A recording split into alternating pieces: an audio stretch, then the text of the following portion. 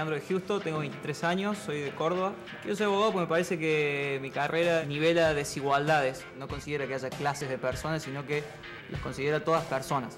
La verdad que abogado mediático no, no me gustaría ser, aunque bueno, tengo una cuota de narcisismo y de importante. Me lo dice la gente que me conoce, lo de ser narcisista, pero de todas formas, así no me lo dijeran, lo tengo bastante claro y asumido. Me parece que es una forma de ser mucho más provechosa para desenvolverse y para el trato con las demás personas antes que tener una personalidad de lechuga o ser un blandito. Yo digo lo que me parece sin filtro y sin red.